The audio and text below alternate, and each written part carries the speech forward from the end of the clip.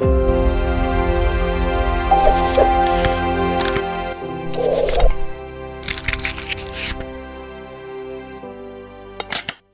a publicized booming economy in the United States of America is an internally displaced people's crisis. I beg your pardon, homeless people living in tents. In 2018, more than half a million people experienced homelessness across the United States. New York City accounted for more than 14% of this number. The homeless crisis is also visible on the streets of Los Angeles, with makeshift, I mean tents, shelters for the city's homeless becoming permanent fixture of the city's landscape. In many countries in Africa, we call it an internally displaced people's crisis, evidenced by the tents, like what you find in New York and Los Angeles. Internally displaced people are persons or groups of persons who have been forced or obliged to flee or to leave their homes or places of habitual residence due to conflict, situations of generalized violence, violation of human rights, or natural or human made disasters. And these are people who have not crossed internationally recognized state borders. This is the same to me for the homeless people I saw in New York on my visit in July this year. Humanitarian needs arising from economic exclusion, which is the major root cause of homelessness in the United States, is a human made disaster. If those images were played out in an African country, we would have convened in a city in Europe to declare humanitarian emergency and call for humanitarian action.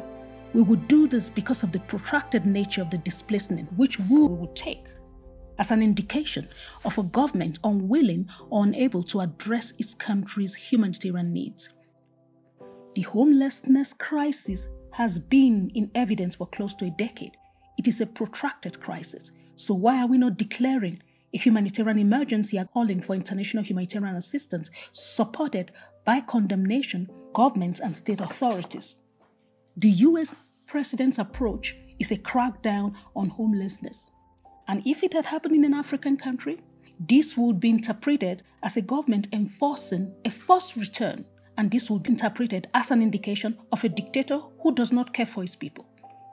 The international humanitarian community would demand for an intention survey for the IDPs to indicate where they want to go and what they want as a solution to their situation. But you can only do that if an internally displaced people's issue is in your country, right? Then we could, you know, the IDPs are displaced due to no fault of their own, but due to a failure in governance. But when they are named homeless, the response is different. It is the fault of their, of their own, and they are violating city rights by putting their tents in the city. What really is in a name? Everything I say. So, why this double standard in naming crisis? Because the naming of crisis and solutions in Africa is indicative of the way the continent has been viewed and treated for centuries. The Western obsession with naming African leaders and leadership negatively has increasingly become a case of giving a dog a bad name to justify hanging it. Many African leaders look away from the way conflict and disasters in their countries are presented because such reports are often prefixed by the call for funding. But charity appeals announcement to the world of the weakness of a government.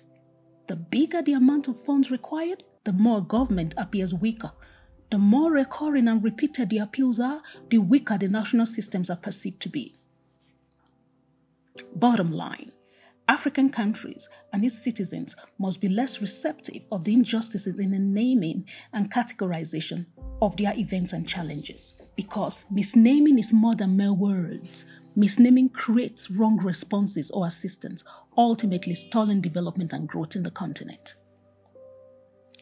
Thank you for watching please, please don't forget to like and subscribe.